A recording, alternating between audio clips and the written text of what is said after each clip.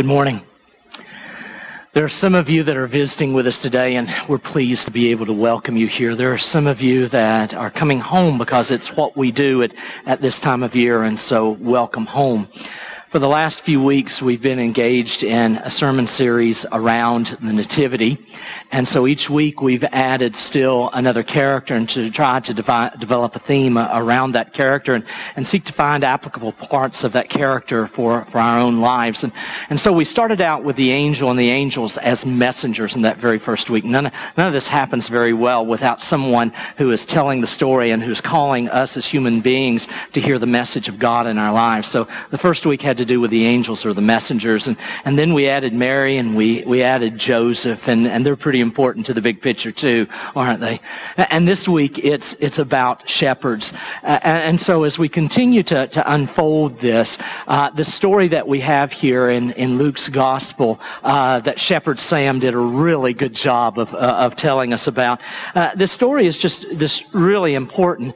But I, but I wonder if, if you were the one who was writing the story, if you were the one who was uh, kind of putting all of these elements in place, particularly this element about who gets to hear the good news first, um, who would you choose to be on the receiving end of this just really amazing announcement? I, I mean, would the person that you would choose to hear the angel's message, would it, would it be King Herod or someone else in Herod's court? Would you choose maybe Emperor Augustus's governor over the area. Maybe you would choose someone in religious life. Perhaps the person that you would choose to hear the message would uh, be the high priest over the temple. Maybe who you would choose to hear the message first would be someone from an upper economic class, someone who has political standing, someone who has social clout. So when they speak, their voice is heard. Or, or, maybe you would consider someone who actually makes a living as a herald. People who are paid to be messengers and to carry messengers from authority out among the people. There's been a great deal that has been written over time about first century shepherds, and the reality is there's not much of it that's very good, okay? So anything that's been written about first century shepherds, for all practical purposes, is really very negative. One of the sources that we have regarding uh, shepherds is a writing in Judaism called the Mishnah. It's a Jewish uh, writing that is based on 700 years of oral law. 700 years from around 500 BC to around around 200 AD. And in that writing, it warns against six occupations that should never be entered into by God fearing Jews. And top on that list was shepherds. Okay.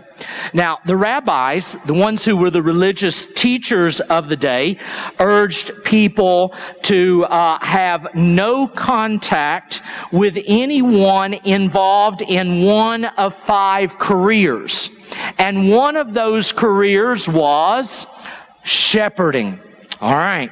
So, in fact, um, Willie, Nel- those of you who are old enough to, to remember Willie Nelson's song, Mamas Don't Let Your Babies Grow Up to Be cowboys, right? You see, that's, that's new stuff, okay? The original version of that was, Mamas don't let your babies grow up to be shepherds. Don't let your children grow up to be shepherds. So why in the world should shepherds be so ignored and so despised? I can offer you four interrelated reasons for that. And to be honest with you, it sounds a little bit like David Letterman kind of stuff. So let's go down, uh, let's go down these four. The first thing is shepherds seemingly had no boundaries. They didn't obey the boundary markers in the tending of their sheep, so they ended up trespassing on private property. Now, along with this, while they were trespassing on private property, they got in a reputation for having sticky fingers. That is, they would pick up anything that they saw that was loose that they wanted and they'd take it for their own.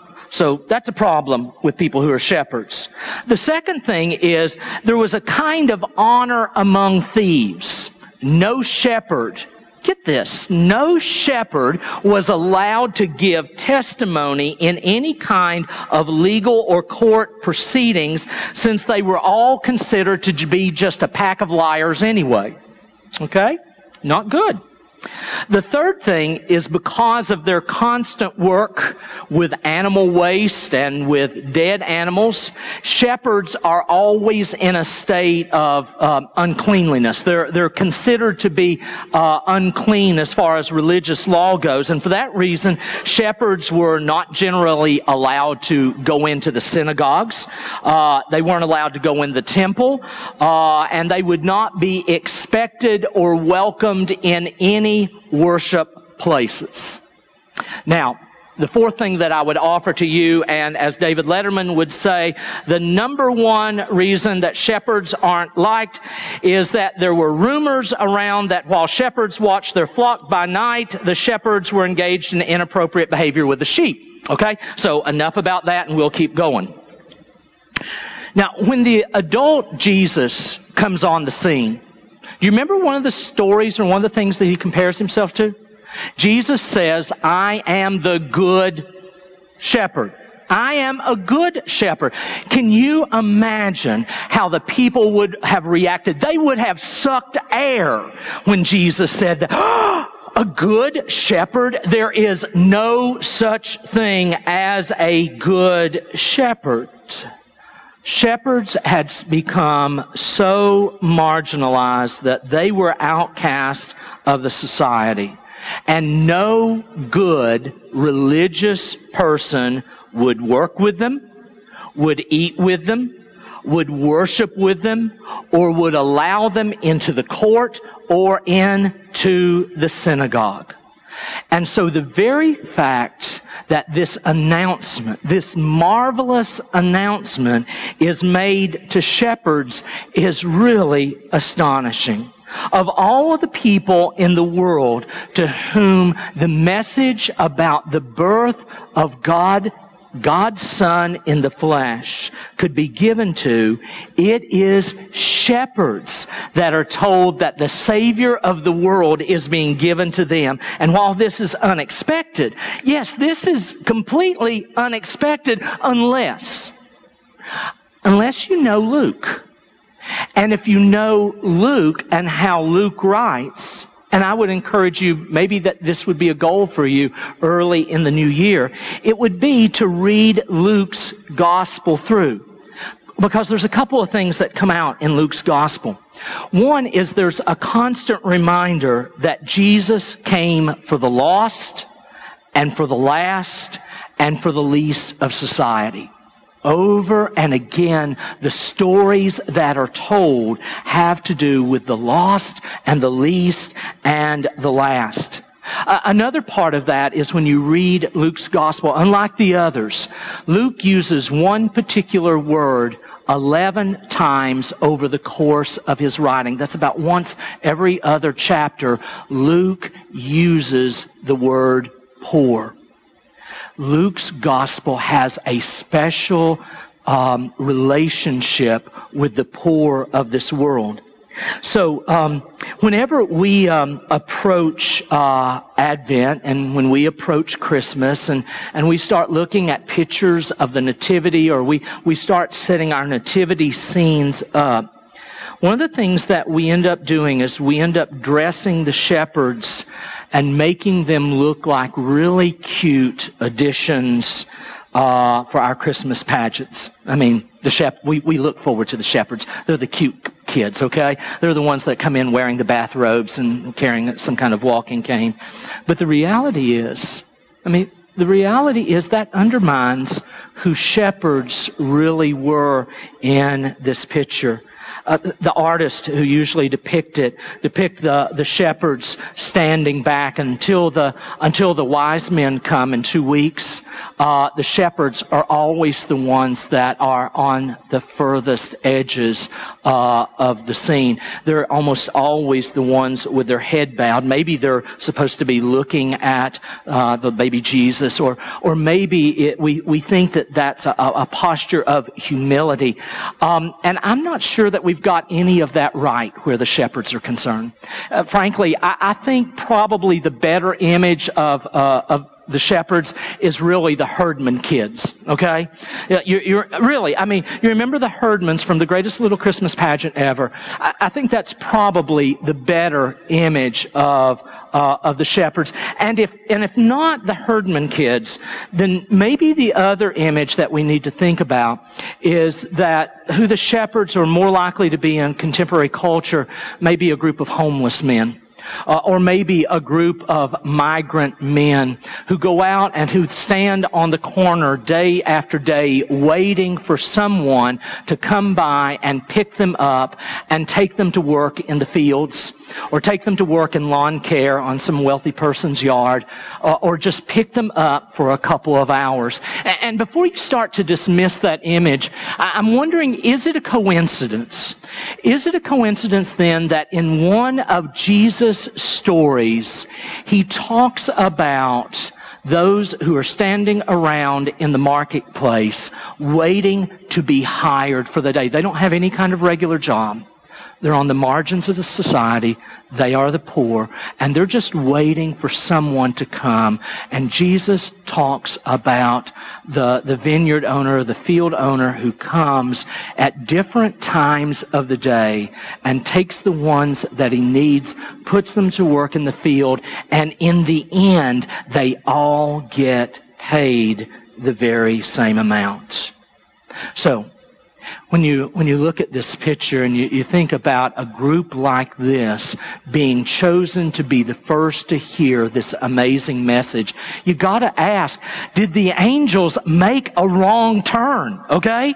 Did, did the angel get the message wrong about who he was supposed to go and speak to? Had they intended the announcement for the King of Peace to coming into this world to really be given to the movers and the shakers and the really important people of this world?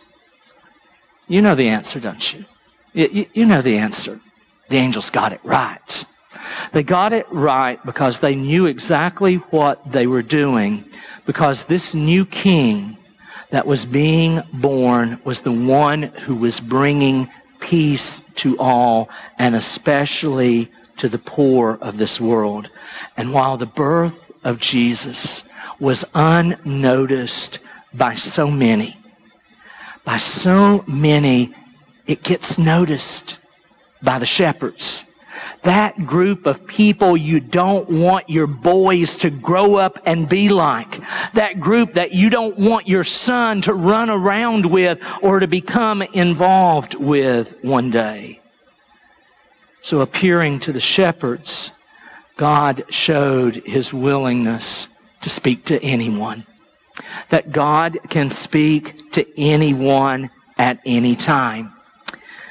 One of the memories that I, uh, it's, it's kind of in my rhythm, I, I think, that, that I keep coming back to at this time of year is that when I was in seminary, and I started seminary, it's hard to believe, 30 years ago, um, this, this past fall, uh, I was I was really country go to town. I, would grown up here in Appalachia, had grown up in East Tennessee, had gone to college in East Tennessee. Uh, I, I, knew uh, I, I, saw very few homeless people in my life, and the ones that I did see, you either uh, assumed really the worst about them, or you assumed that somehow they got taken care of. But when I went to seminary, one of the things that my seminary did is it made the assumption that some of us needed to get out more. Okay, and the way they had of getting us out more was uh, we would uh, we'd go work in the soup kitchens in downtown Atlanta, and we would go uh, we'd go work in the night shelters in downtown Atlanta. So my very uh, my very first year in seminary, Thanksgiving and Christmas took on completely different meanings for me. Um, because uh, uh the only the only character from 30 years ago I can remember was a guy that the rest of the men called Wolf. Uh, good, uh, good sized uh, African American guy, and I remember his his gray beard, and uh, him always wearing a, a ball cap. Um, but one of the memories in all of that was working in the night shelter one night and you take turns sitting up. So someone's always awake and and during my turn of, of sitting up i watched how some of the men would would awaken during the night. Not necessarily go to the bathroom but they'd awaken during the night and they'd sit on the edge of the cot and they'd start having this conversation with someone who wasn't there. And i always wondered you know is this mental illness? What's what's really going on here and it was about that time, for those of you who are old enough, it, it, you may remember a movie, or you remember when Dudley Moore uh, was was Arthur, okay? Uh, and, and, and in Arthur, uh, he's this rich, spoiled guy. And that's in the first one. And the second one, uh, he's on the streets. And by that time, the person who had always taken care of him was his butler, and his butler was dead. And, and Arthur finds himself in, uh, in the night shelter, and he's sleeping on a cot there. And, and you see him wake up in the, during the night, and as far as everybody else knows, he's just having a conversation with himself. And I came to wonder during that time of year as those men were having conversations, were they having conversations with ghosts? Were they having conversations with people out of their past? Or, or in some way, were they having a conversation with God? And in that place of, of who they were and what was going on in their life, was God in some way speaking to them in a way that only they could hear and only they could discern? In in your life and, and in my life how does how does god get through to us? How does god speak to us in a way that we can hear and we can process that and, and we can respond to it? Um, um, Shepherd Sam, I mean, he's honest. He said, Yeah, we were scared, okay? I mean, who wouldn't be scared? It's not like they had been sitting around the campfire that night singing Kumbaya and having a Bible study, okay? It's not like they were sitting there repeating the scriptures of the Old Testament about the Messiah and just praying, God, what's your will for my, my life? It's not like they were involved in some kind of small group study and as they were in conversation with one another, their conversation was about what's God want to do in my life. And in that context, this happens. No, these guys are exhausted. Some of them are asleep. Some of them are awake, keeping watch by night. And all of a sudden, things start to happen. You daggone right. It's scary. When God breaks in, it can often be a scary thing. But true to what happens in the Gospels particularly, it happened when the mess, anytime the messenger appeared to the Mary and Joseph and the shepherds, it's clear that the recipients of the message are terrified or they are afraid. But there is a word of assurance that is given each time the message is spoken, and the word of assurance is be not afraid. Don't be afraid. And, and then when Jesus grows up, and he starts to be engaged in ministry, he knows that there are things about life with him that gets to be kind of scary. And in the Gospels, there are times when Jesus says, Fear not. And so for the shepherds, when they get this message, it all begins with being terrified. It begins with being afraid, but it quickly begins to move, just like it did with Joseph, just like it began uh, did with Mary, of moving to that place where they can faithfully respond to what God's doing.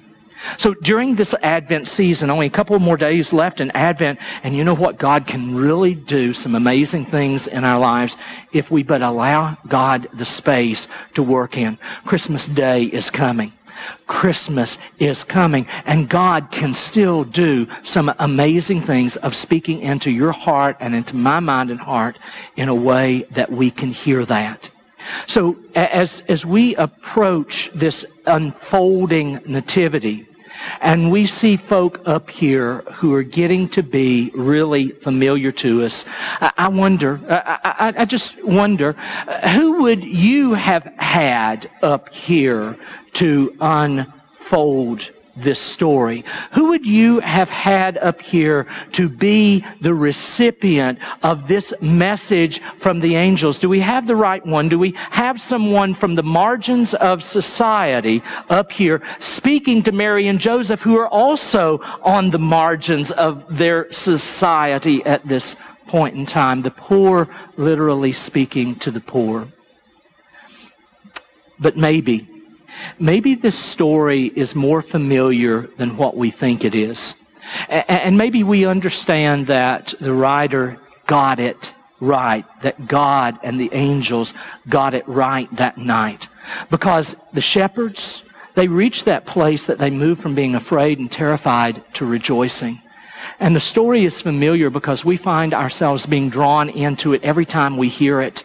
And some of us, we've been hearing it for 60 or 70 years now, and there's just something about it that just draws us in every year when we hear the story. And I'll tell you the reason why it draws us in. It draws us in every year because we know who we are. We know that we're not perfect. We know that we're not holy even though Jesus came and died and gave his life to make us holy. We know that there are places in our lives that we continue to keep hidden from the Lord and from the Spirit and from others. But the Lord knows that. And so maybe the, the shepherds are not so foreign to us. And it's like Sam, shepherd Sam, says here at the end no one had ever chosen me for anything. It almost makes me cry every time I think about it. No one had ever chosen me for anything. But that's not true, friends. It's really not true. Because you too have been chosen just as I have. We have been chosen to bear the good news. We have been chosen to go closer, to go to Bethlehem and see, and to make known the wonders of what has happened, but not just in Bethlehem, but outside these doors and away from this campus. And whether you live in Kingsport or the surrounding area, whether you live off far from here, and you're going to be going back that way soon, know that God's chosen you too. He's chosen you to be a part of this Christmas plan and this Christmas message. And so when you go from here, may you go forth from here glorifying and praising God for what God has done in your life. And that's the attitude and that's the means by which we come to this table every time that the table is set before us. We come here over and again because that's what Jesus came. This manger, this table becomes for us a manger, a place that holds the body and the blood of Christ, that holds God with us. Here in this place, we lift up the bread that becomes his body for us. We lift up the cup that becomes for us the cup of salvation and we hold out our hands to receive God with us and our hands become the manger that holds him and we receive him and we go out into this world to tell others what God has done, not just for us, but for them too. Would you pray with me? Heavenly Father, I, I just thank you for your word. And that even though the story has been on the printed page and has been told for centuries now, we find ourselves reconnecting to it every year. Forgive us, O oh God, that in this season we become so busy that we are slow to turn toward the manger and to see ourselves there among the others as those who have heard the good news and who can't help but being drawn to your presence. Forgive us for those things that we know that we ought not to have done, but have done. Forgive us for the words that we know that we ought not to have said, but they rolled too freely from our lips. Forgive us, O God, for those places where we have missed the needs of our neighbor so near to us. And even as we ask for forgiveness, we hear the good news that Christ died for us while we were yet sinners, and that proves God's love toward us and that in Jesus' name we are forgiven. Amen.